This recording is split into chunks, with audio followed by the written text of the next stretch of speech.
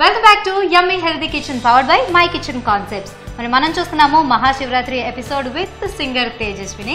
So next recipe ఏం నేర్పించబోతున్నారు మాకు? నెక్స్ట్ రెసిపీ యాక్చువల్గా నాకు చాలా ఇష్టం. సగ్గుబియ్యం సాబుదానాతో రోల్స్ ఆలు రోల్స్ సాబుదానా ఆలు రోల్స్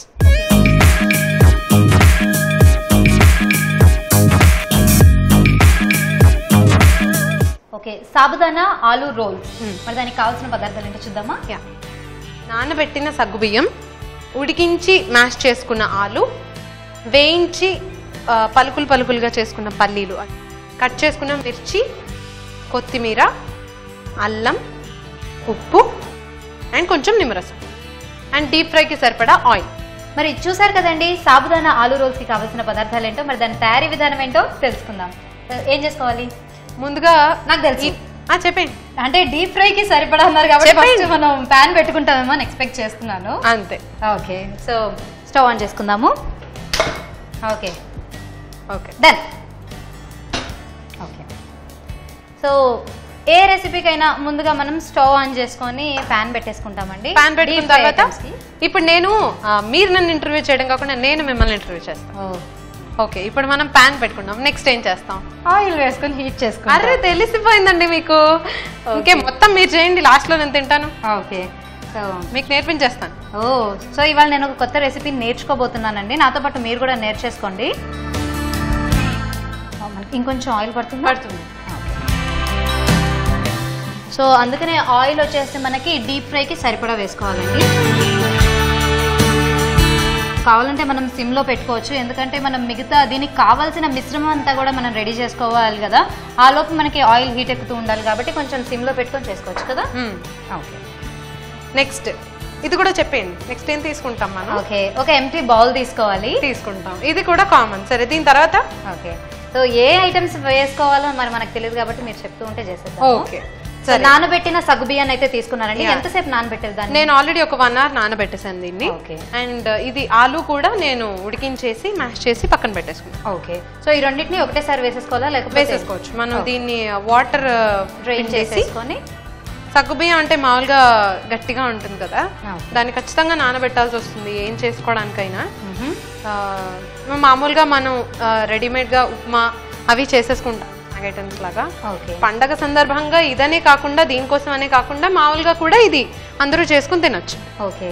దానికి తగ్గట్టుగా పచ్చిమిర్చి అల్లం ఉప్పు జనరల్గా మనం ఉపవాసంలో ఉప్పు తినం. అందుకని ఒక ఐటమ్ ఉపవాసానికి సంబంధించి ఇంకో ఐటమ్ జనరల్ ఐటమ్ కూడా చేసి చూస్తాం. ఓకే.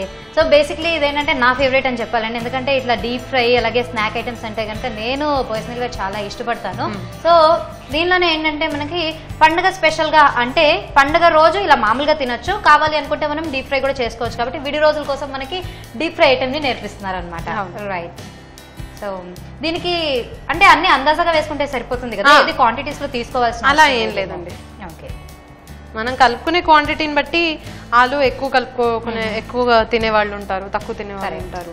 నేనైతే ఆలు కోసమే సగ్గుబియ్యం తినేస్తాను. ఓకే. సో ఎక్కువ తినాలనుకునే వాళ్ళు ఎక్కువ క్వాంటిటీ చేసుకో రైట్ అయినా ఇప్పుడు మనం రోల్స్ అనేవి చేసుకుంటున్నాం కాబట్టి అది కొంచెం బైండ్ అవ్వాలి. అది. ఉండల్లాగా రావాలి. లేదంటే కొంచెం అది బైండ్ అయి ఉండాలి కాబట్టి.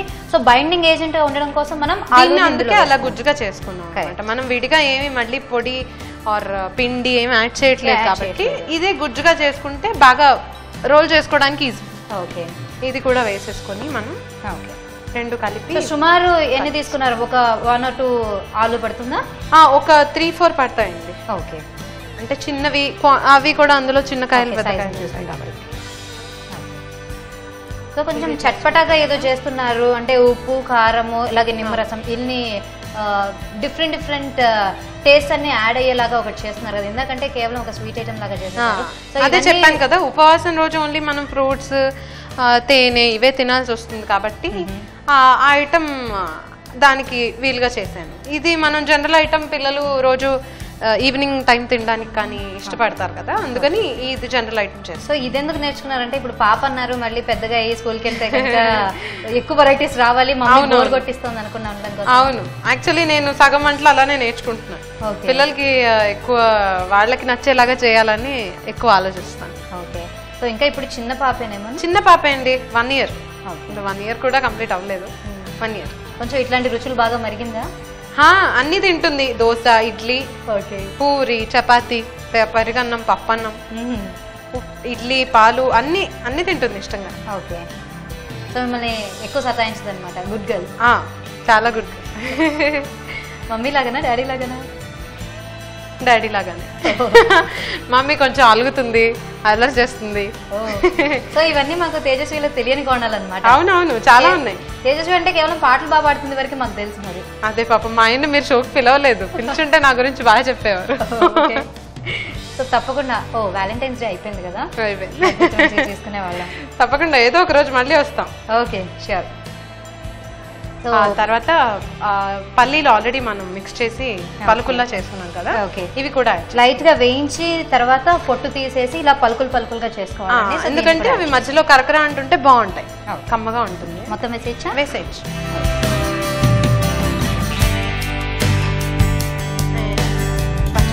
కారం మనకి కావాల్సినంత. ఎక్కువ కారం అందరూ తినలేరు. కరెక్ట్ సో మీరు తింటానంటే మొత్తం వేసేస్తాం. వద్దులేండి. సో పచ్చిమిరపకాయ కూడా అంటే మనకి కారం ఎంత క్వాంటిటీ కావాలో చూసుకోవాలి. ఇందులో ఇంకా ఎండు మిరపకాయలు కానీ లేదంటే ఎండు కారం పొడి కానీ ఏమీ యాడ్ చేయట్లేదు అక్కర్లేదండి. అంటే మనం ఆల్రెడీ కట్ పీసెస్ వేసాం కాబట్టి కారం బాగా అంటుకుంటుంది. పచ్చిమిర్చి సరిపోతుంది. మీరు అన్నట్టు ఎక్కువ కారం తినలేరు. ఓకే. అందుకని అందులో కొంచెం డీప్ ఫ్రై ఐటమ్స్ అంటే కొంచెం కారం తక్కువే పడుతుంది. అలాగే తురుముకున్న కొత్తిమీర కూడా.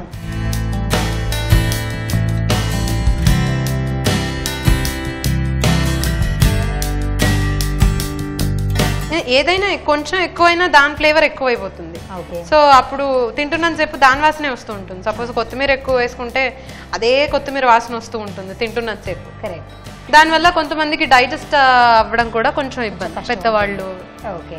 అల్లం తినాలనుకుంటే అల్లం కూడా వేసుకోవచ్చు. కొంచెం ఘాటు కోసం అల్లం కావాలంటే యాడ్ చేసుకోవచ్చు. సో ఇది ఆప్షనల్. సో చాలా చక్కటి రెసిపీని తయారు చేసి చెప్తున్నారు మా అందరికీ కూడా. అలాగే ఒక చక్కటి పాట కూడా. కొంచెం ఫాస్ట్ బీట్లోకి వెళ్దాం ఈసారి? అలాగే. ఫస్ట్ బీట్ పాడుతుంటే నేను ఇది ఫాస్ట్ ఫాస్ట్గా కలిపేస్తానేమో అని. మెల్కల్ తిరుగుతుంటే అమ్మాయో మిరకల్ జరుగుతుంది ఆయాయో మెక్కనస్ కోల్ లాంటి పప్పాయో मेरे दिल धीम तनक डांस आयो। एनो चाव बाई दबाई कवाई महा गड़ुकाई एमे चान बाई, पुचाई, एंजॉय, नेने कड़चाई सिल्क सिफाना इश्क तूफाना, दोस्त को पोता। सरेना ready ready one two three धूम धमाका। लबो लबो लफलोना ये गिरी पटाखा ready ready one two three राय लगा। పిల్ల పిల్ల పేల్చేస్తా పడుచు పటాకా వెరీ నైస్ అంటే ఇందాకటి వరకు అన్ని దేవుడి పాటలు క్లాసికల్ సాంగ్స్లోనే ఉంటూ ఉంటే. తేజస్వి కొంచెం ఎంతైనా హిట్ సాంగ్స్ అంటే ఇలా ఫాస్ట్గా ఉండే సాంగ్స్ తక్కువ పాడుతుందేమో అనుకున్నాం కానీ ఏం లేదు దీన్ని కూడా చూపించారు సో కలుపుకోవడం అయిపోయిందా. ఇంకేమైనా మనం ఇంగ్రీడియంట్స్ కొంచెం ఉప్పు యాడ్ చేసుకోవాలి అండ్ Okay. నిమ్మరసం. సో ఉప్పు కూడా మనం కారానికి తగ్గట్టుగా వేసుకోవాలండి. ఇందాక కేవలం మనం పచ్చిమిర్చి మాత్రమే వేసాం కాబట్టి దానికి తగ్గట్టుగా కొంచెం ఉప్పును వేసుకోవాలి.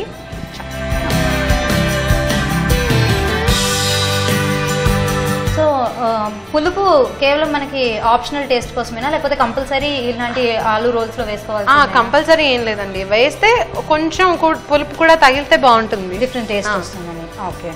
మరీ ఎక్కువ పుల్లగా ఉండకుండా జస్ట్ లైట్గా కొంచెం నిమ్మరసం యాడ్ చేసుకుంటే మనకి బాగుంటుంది. సో మనం కావాలంటే ఒక చెక్కన వరకు మాత్రం పిండుకోవచ్చు. ఈ టైంలో వేసేసుకోవచ్చా? వేయచ్చు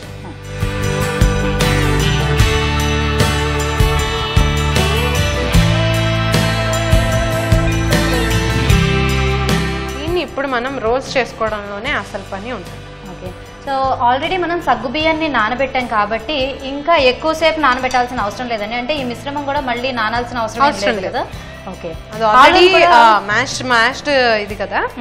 అంత పిండిగానే ఉంది. సో మళ్ళీ దీన్ని నానబెట్టుకోవాల్సిన అవసరం రైట్ ఆలూని కూడా ఆల్రెడీ మనం బాయిల్ చేసుకున్న తర్వాత చెక్కు తీసి దాన్ని మెత్తగా మ్యాష్ చేసుకున్నాం కాబట్టి అందులో ఉన్న వాటర్ తోటే మనకి ఇది కట్టి గట్టిగా ముద్దలాగానే అయిపోయింది. అంటే అడిషనల్గా వాటర్ యాడ్ చేయాల్సిన అవసరం లేదు. అంటే ఇన్ కేస్ ఒకవేళ తక్కువ పడితే కొంచెం మనం వాటర్ యాడ్ చేసుకోవాల్సి వస్తుందంటారా? చేసుకోవచ్చు కానీ మెత్తబడిపోతున్న కొద్దీ డీప్ ఫ్రైలో ఆయిల్ పీల్ చేసుకుంటుంది. ఓకే సో ఇంత గట్టిగా ఉంటేనే బెటర్. ఎగ్జాక్ట్లీ అండ్ ఇంకొకటి ఏంటంటే మనం ఈ మిశ్రమం ఏదైతే తయారు చేసుకున్నామో దాన్ని కూడా వెంట వెంటనే వేయించుకోవాలి. మళ్ళీ పిండి కూడా ఎక్కువసేపు నానితే కనుక మళ్ళీ మనకి అవుతుంది సో ఆయిల్ హీట్ ఎక్కిన తర్వాత ఒక్కొక్కటి వేసుకునే బదులు మీరు ముందుగానే చేసి పెట్టుకుంటారు ఎందుకంటే ఎక్కువ ఒకేసారి వేస్తే మాడిపోకుండా తొందరగా ఓకే సో ఈ లోపు దీన్ని మనం సిమ్ ఫ్లేమ్లోనే ఉంచాలా? లేకపోతే మీడియం గా లేదా సిమ్లో ఉంచితేనే బెటర్ అండి ఎలాగో మెల్లిగానే కాగుతూ ఉంటుంది. ఓకే. హైలో పెడితే త్వరగా మాడిపోయే ఛాన్స్ ఉంటుంది. లోపల పిండి పిండిగా ఉంటుంది. Shivaratri special yummy healthy kitchen powered by my kitchen కాన్సెప్ట్స్లో చిన్న బ్రేక్ తీసుకుందాం.